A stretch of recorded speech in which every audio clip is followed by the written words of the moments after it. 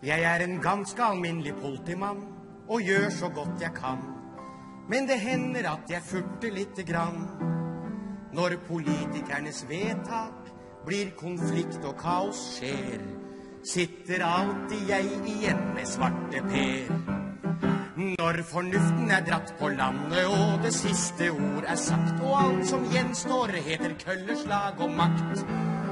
Du som alltid kritiserer, vær så snill og kom hit fort. Og fortell meg hvordan du selv ville gjort. De som styrer i dette landet, stikker av og mangler mot. Jeg er riddergutten på alt deres rot. Spytte, klyser, hån og skjellsord er den takken som jeg får. Og nåde meg om jeg blir provosert og slår. Jeg skulle jage på kriminelle, være lovens lange arm. Isteden brukes jeg mot flyktninger og barn. Har fru Faremo en flyktning som skal hentes nå i kveld? Kan fru Faremo få gjøre jobben selv? Kan fru Faremo få gjøre jobben selv? Ja.